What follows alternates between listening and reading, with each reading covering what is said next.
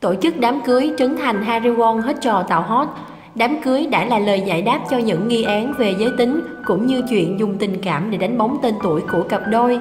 Vào hôm qua, nội dung in trong thiệp cưới của Trấn Thành và Harry Won đã dần được hé lộ.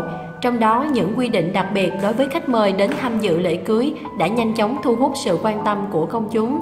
Trong thiệp, Trấn Thành Harry Won nhấn mạnh trang phục dự tiệc màu đen hoặc đỏ vì đây là tiệc nội bộ giới hạn lượng khách mời, xin quý khách vui lòng không đưa người thân theo cùng. Để việc phục vụ được chu đáo hơn, xin quý khách vui lòng mang thiệp khi đi dự tiệc. Được biết, với lý do muốn tổ chức một buổi tiệc thân mật, Trấn Thành và Harry Won chỉ ưu tiên mời 300 vị khách. Đây được xem là một động thái khác lạ của cặp đôi bởi từ trước đến nay Trấn Thành và Harry Won vẫn thường xuyên phô diễn tình cảm của mình trước đông đảo công chúng và dư luận. Tuy nhiên, có một sự thật rằng không cần giới hạn khách mời thì sau đám cưới, độ hot của cặp đôi thị phi nhất showbiz cũng sẽ dần dần giảm nhiệt. Bởi lẽ tổ chức đám cưới đồng nghĩa với việc công chúng đã có câu trả lời cho không ít những nghi ngờ từ trước đến nay xoay quanh cặp đôi. Đầu tiên phải kể đến nghi án dàn dựng chuyện tình cảm để đánh bóng tên tuổi bị loại bỏ. Chính tin đồn này đã khiến từ ngày mới yêu nhau, mọi nhất cử nhất động của Trấn Thành và Harry Won đều lọt vào tầm ngắm của công chúng.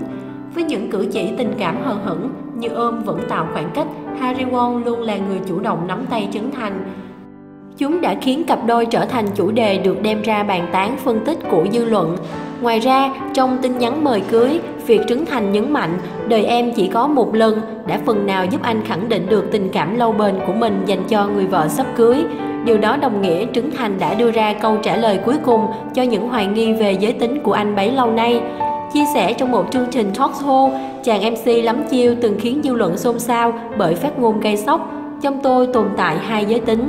Không chỉ chứng minh được tình cảm dành cho nhau là thật, đám cưới được tổ chức vào ngày 25 tháng 12 tới đây, còn được xem là dấu chấm hết cho mọi cơ hội cũng như nghi án tình cảm của Trấn Thành và Harry Won với tình cũ.